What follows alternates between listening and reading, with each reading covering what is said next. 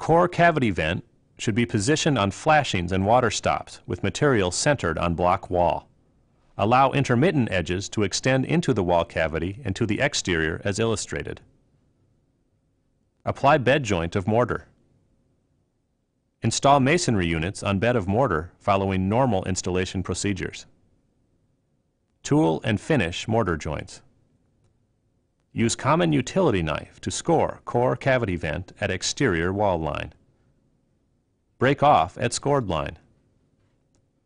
Core cavity vent works because all the weep holes are at the lowest point of the core and cavity and there are many of them.